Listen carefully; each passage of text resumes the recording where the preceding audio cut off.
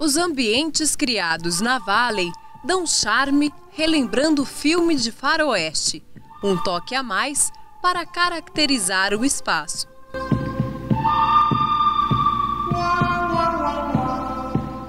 Aqui no estado, o estilo sertanejo impera e ter um espaço exclusivo para quem curte esse som é perfeito. Mas e quando não tinha essa casa?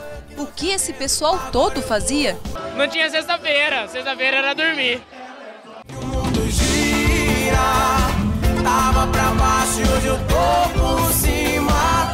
Hoje sou eu que não te quero, hoje sou eu que não te atendo. Agora eu vou curtir a vida.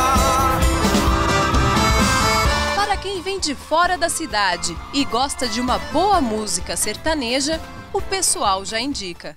Eu vim aqui, o Ceceu, meu amigo, Dirceu aqui de Campo Grande, falou que era a melhor casa de música sertaneja aqui de Campo Grande. Aí eu vim conhecer. Agora vem me procurar, pedindo pra voltar. Você se arrependeu, só deu valor depois O que motiva as pessoas frequentarem essa casa? É muita gente bonita, super animado, um bom som, bem legal. Gostei muito. A única casa sertaneja de Campo Grande, é, vem gente bonita e vem bastante duplo legal. Quatro, quatro finais de semana que eu venho seguindo aqui.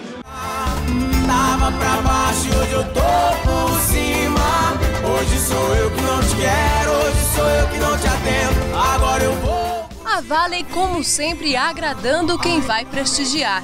Resumindo, o que faz as pessoas retornarem ao local é de tudo um pouco. As duplas, o, o estilo aqui, tudo, tudo é bom aqui na Vale. Sou eu que não te atendo.